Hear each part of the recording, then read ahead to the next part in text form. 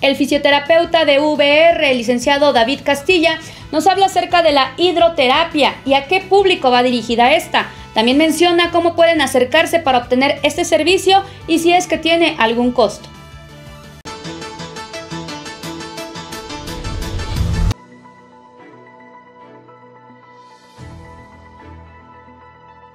La hidroterapia es el uso del agua y del movimiento del agua mismo como un agente físico para poder ayudar a los pacientes, tanto en la cuestión de alivio de dolor como para mejorar su movilidad. ¿A qué pacientes se les recomienda esta hidroterapia? Está enfocado en todos los pacientes, en general si no tienen algún proceso infeccioso, y pues nos ayuda a disminuir las cargas sobre las articulaciones, asimismo como nos ayuda a generar una misma resistencia por el efecto del agua para poder trabajarlos de una manera más orgánica. Sí, pacientes desde pequeños hasta adultos mayores, obviamente con las medidas eh, cautelares, en este caso con precaución de caídas o alguna otra consecuencia.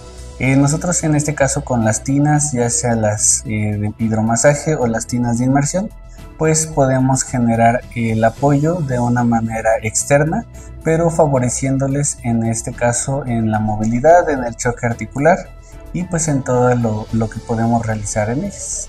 Claro, realizan actividades físicas, realizan movimientos ya sea en peso libre o también con algunos aditamentos. Es muy recomendable más que nada para los adultos mayores o personas que tengan algún padecimiento articular, debido a que les reduce la descarga de peso y les favorece en la movilidad de sus miembros.